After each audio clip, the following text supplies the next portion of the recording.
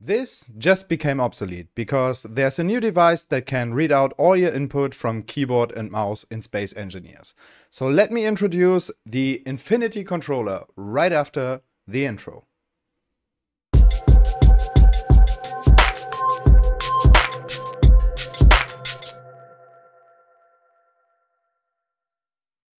Now you might ask, what does this weird looking device do? Give me a second to explain and you will see it's not very complicated. Technically it uses functional blocks that do react in any kind from your input devices like your keyboard, mouse or even gamepad if you are playing Space Engineers on console. It recognizes these reactions and gives you the possibility to let any other functional block react too that wasn't meant to do so. Let's demonstrate that with the WASD part of the controller. The red check lights are representative for any functional blocks that usually do not react to the shown inputs. And yes, this works vanilla and without scripts. Now, before we get into how it works, let's take a look at the other functions. There is an actual click trigger too. This one takes the most space and is the main reason for the size of the whole device. Due to the mechanics behind this, there is a bit of an input lag, but at least there is a reliable readout happening. The third variant of input this can handle is the mouse movement. In this current version it can't differentiate between different mouse speeds, but for some stuff like working trim and control flaps of wings for example, this already works good enough. And to repeat that, all this is vanilla, it doesn't use any script and it does work the same with the gamepad on console, without any extra configuration. Now the big question is, how does it work? To understand that, we need some basic knowledge about how event controllers work. Basically, they are the same as sensors, but instead of setting up a sensor field to get triggered from objects, an event controller does have a list of events to choose from. This list contains several situations, variants of outputs and other conditions. After we selected one, there is a second list below that shows matching blocks that are connected to this event block. Also, we need a threshold for this condition to trigger the event. And we can choose if it's triggered below or above this threshold. Now, if clicking on Select Actions, we see the same two boxes to put the triggered functions in as we know it from the sensors. The first is for condition is given and the second is for if not. Now, the key for our input converter to work is to find the right functional blocks and conditions from this list to trigger the event with the inputs we want to have. To make all the shown functions work, we need multiple techniques of input mechanics. The simplest variant of triggering the event block is the part for WASD space and C. For these, it just needs a thruster for each of the six directions that are controlled with the six keys.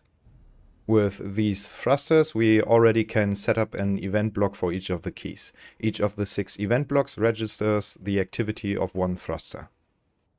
For the actions, we set what we want to have executed when pressing the key, and if necessary, the stop for it when the key gets released.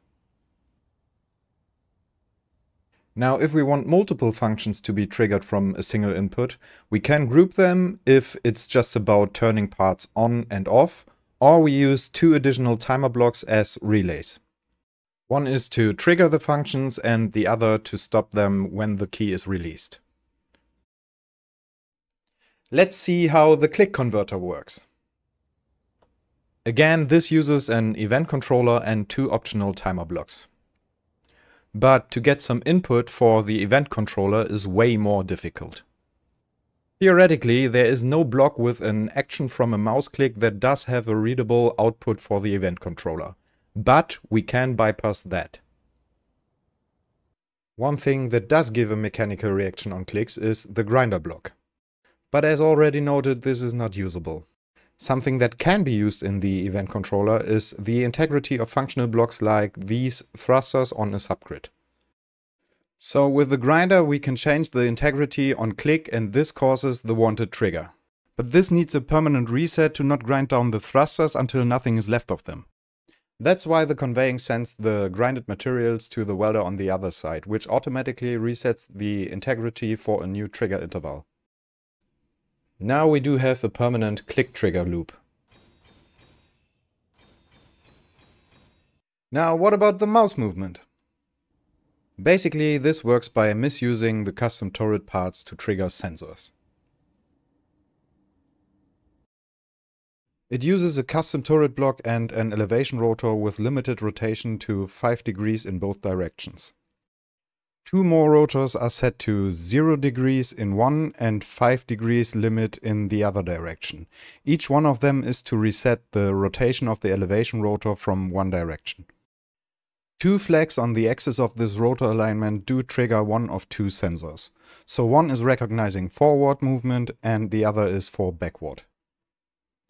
For left and right movement it is pretty much the same but with the azimuth rotor and a vertical arrangement. The reset of the rotor positions doesn't work perfectly fine in all situations due to the limitations of the game's physics.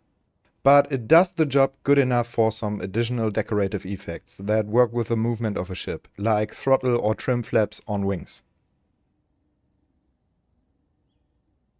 So this is the three functions of this device. But what can we use it for? Here's an example. This is a spheric gravity drive and pretty much the simplest variant of gravity drive devices. It uses a spheric gravity generator to push or pull artificial masses. With the right alignment, setup and controls to turn the masses on and off, it can be used to let non-static grids move. And in zero gravity, this can be a full replacement for thrusters, an energy-saving secondary propulsion, or an extra boost if combined with conventional thrusters. And in combination with the WASD module of the Infinity controller, this perfectly behaves like any other vanilla ship, including fully functional auto dampeners. This also works over subgrids without using any script. Depending on the ship's size and expectations about maneuverability, this can save PCU, weight, block count and energy. And by far, that's not all the controller can be used for. If the event controllers are used to turn on and off some preset thruster overrides, it can be used as a replacement for subgrid control scripts too. Now that's pretty much it about it from my side. And the ideas what else to do with all this is up to you. But let me know about it in the comments or visit me on my Discord server that is linked in the description down below. And don't forget to support this channel with your like and subscribe.